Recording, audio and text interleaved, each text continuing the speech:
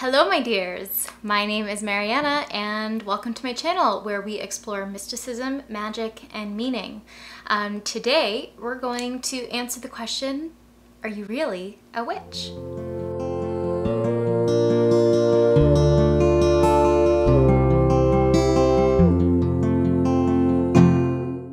We're going to break down what a modern witch is and what makes you one. The props. I promise I know I'm too old for this. No, but really, if you are interested in spirituality, in witchcraft, in magic, you've probably stumbled along one of these videos or posts before. Common indicators that you're a witch often seem to include being an empath, intuitive, introverted, in love with nature, or just being spiritually curious in general. And although all these qualities do seem somewhat witchy, they're also pretty vague. If that's all it takes to be a witch, then job done. Obviously, there's something missing in these lists, and to discover what that is, we have to ask, what really is a witch? Are you born a witch or do you become one? Are you initiated into being a witch? Do you have to have ancestors that were witches? Do you have to practice a form of witchcraft? Do you need to own a cauldron or crystals or a mildly malicious black cat? The only tool we have to answer any of these questions is to look into the history of being a witch. And truly, witches don't exist without their long and pretty horrifying history. In the last century, and really in the last few decades, witch has become a term of empowerment. But before that, witch was a death sentence and a term specifically used to suppress female power. So let's let's go back. Back to the Garden of Eden and discuss the first witch. In the medieval text, the Alphabet of Ben Sira, it's not Eve who's identified as the first wife of Adam, but Lilith, who was not made from his rib, but actually from the same earth. But there was no bliss for the couple. Um, when it came time for them to, you know, Lilith responded, and I quote, I will not lie below. And he said, I will not lie beneath you, but only on top, for you are fit only to be in the bottom position, while I am to be the superior one. Lilith responded, We are equal to each other inasmuch as we are both created from the earth. And so obviously Adam is pretty unhappy with this and he complains to God and says, you gotta get this lady to shape up or get out of town. And God tells Lilith, you gotta listen to your husband or else you're gonna get exiled from Eden and you're gonna have to become a child devouring demoness for the rest of your life, which will be eternity. And Lilith responds, Do what you will. And Lilith flies out of Eden, screeching the unknowable, ineffable name of God that somehow only she knew. This story is the perfect example of the paradox of being a woman in patriarchy. You are both essential and valueless and carry a magic that is incomprehensible and undefinable. In fact, a lot of scholars believe that in the Neolithic period, which was a long time ago, people didn't really understand how conception happened and they believed not only did men have nothing to do with it, but women actually just decided to have children when they wanted to. Imagine how much power women had in this culture where they were able to do the one thing God alone could do to create life. Imagine the threat women posed having all of this power that men literally didn't understand. The only way to contain that threat was to otherize women, to persecute them, so that that immense earthen power became meaningless and even diabolical. Throughout the entirety of the Middle Ages and the Renaissance, witches were rounded up and executed for pretty much just being women who seemed powerful. Women who had the audacity to dabble in the occult or magic, or just perform their own sense of magnitude. So it makes sense that we want to reclaim the word witch. We want to erase its centuries of persecution and oppression. We want to make it a term of empowerment, but we must do so with reverence and integrity and intentionality. Being a witch is not something that happens one day. You don't just wake up like the sisters in Charmed or Sabrina and flick a finger and magic happens around you. Those stories are metaphors for what being a witch really is. Whether you're a woman or a man or non-binary or trans, it doesn't matter.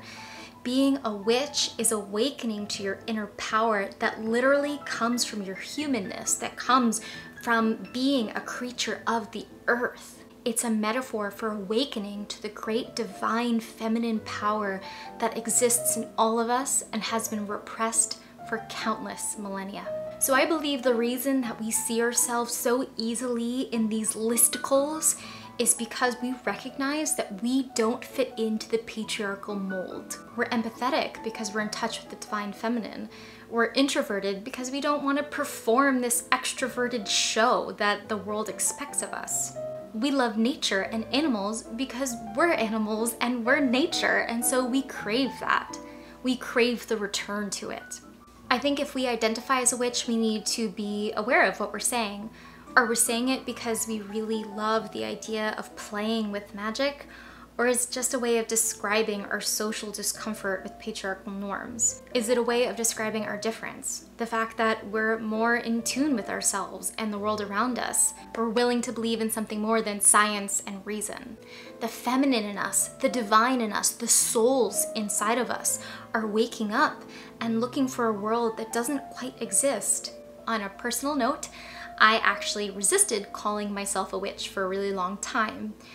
I did the lists and the quizzes and it said, yeah, you're a witch, but I just didn't feel right about taking the term. It felt too laden in oppression and I didn't really know how to practice witchcraft. I didn't really know how to engage with that in an authentic way. It took me a long time to realize that my craft was my participation with the divine in the world.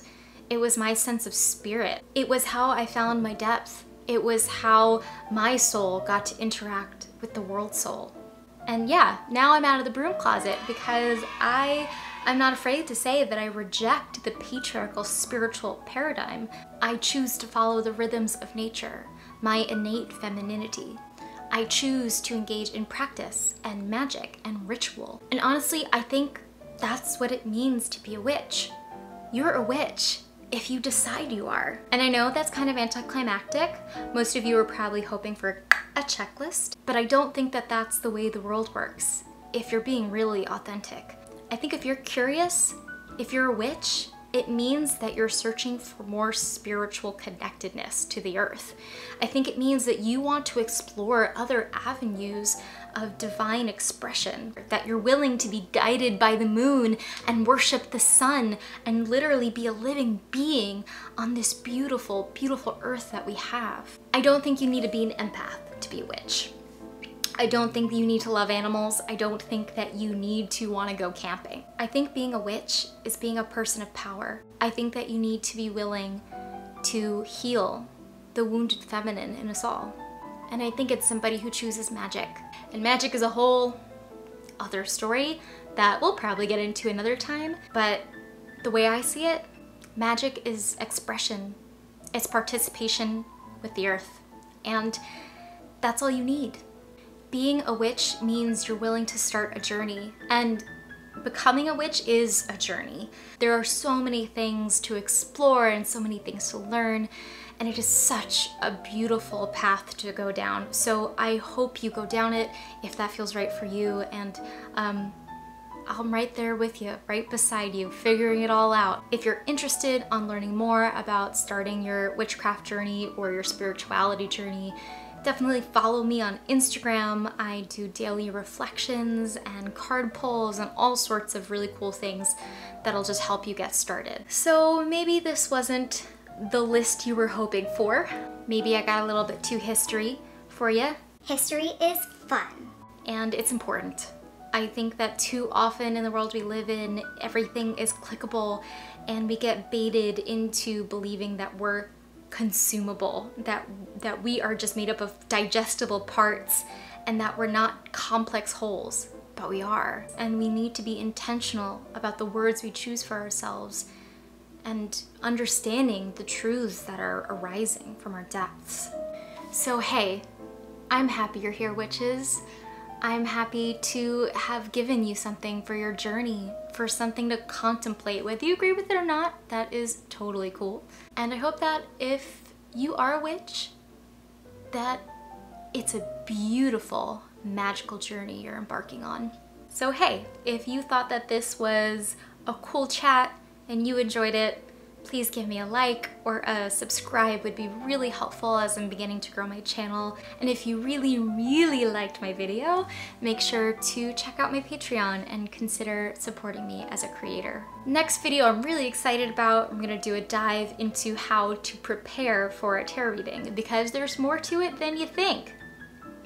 Preparation it's key. So make sure you're subscribed so that you don't miss that when it comes out. So give me a comment if there's any other topics you want me to discuss and hope you have a beautiful, meaningful day, my loves. Thanks.